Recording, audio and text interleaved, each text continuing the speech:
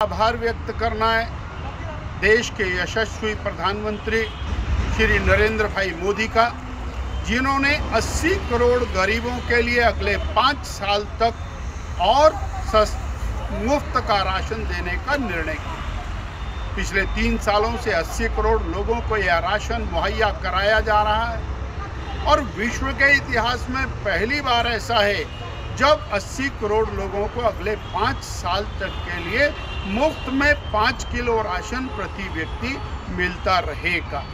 गरीब कल्याण की दिशा के अंदर पिछले नौ साल के अंदर जो अनेक अनेक कदम उठाए गए, उन्हीं कदमों के अंदर से यह अत्यंत महत्वपूर्ण कदम है जहाँ साढ़े तीन करोड़ गरीबों को पक्के घर बना करके दिए गए। नौ करोड़ किसानों के खाते में छः हज़ार रुपया प्रति वर्ष डाला जा रहा है लगातार। इसी प्रकार तरतालीस करोड़ गरीबों के जनधन के खाते खुलवा करके उनका स्वाभिमान उसको खड़ा किया और यहाँ तक नहीं रुके हैं।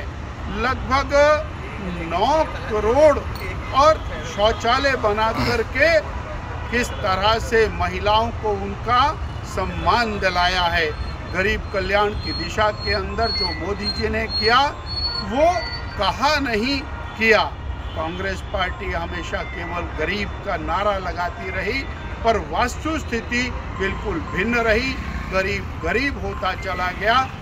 और ये जो नौ साल गरीब कल्याण के बेमिसाल मोदी जी के, उसमें ये अगले पाँच साल और जोड़ना अत्यंत महत्वपूर्ण है। हम मोदी जी का आभार व्यक्त